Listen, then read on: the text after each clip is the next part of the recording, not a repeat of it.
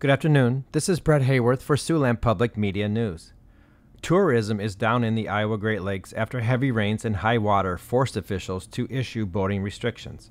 The executive director of Vacation Okoboji, Kylie Zankowski, estimates flooding has decreased tourism by 40 to 60 percent. We're a very seasonal community, so we definitely depend on tourists coming here, and so it's it's been a pretty big hit, especially hitting around the biggest holiday of the summer with the Fourth of July.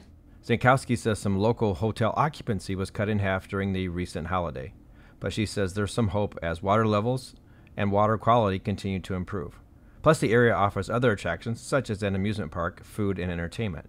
The crowds attending a Saturday free concert at the Green Space area in Arnolds Park was visibly less than usual size.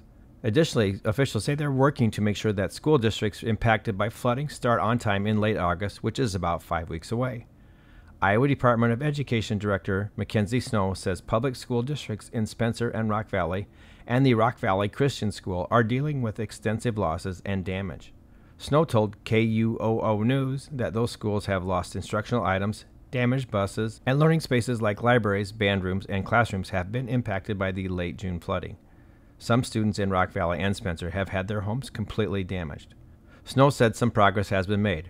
Her agency has been working to locate portable classrooms in other school districts that can be transferred to Spencer and Rock Valley. Last year, more than 2,000 students were enrolled in Spencer, and the public schools in Rock Valley had just under 1,000 students.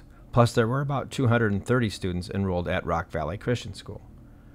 In other news, the campaign to put a South Dakota abortion rights measure before voters in November claimed a major victory Monday in a state court. A circuit court judge ruled in favor of Dakotans for Health the grassroots organization which is behind Amendment G. He granted a motion to dismiss a lawsuit filed by an anti abortion group, Life Defense Fund, that had sought to keep the measure off the ballot, according to South Dakota Newswatch. For Siouxland Public Media News, I'm Bret Hayworth. Check out this and other news at our website, kwit.org.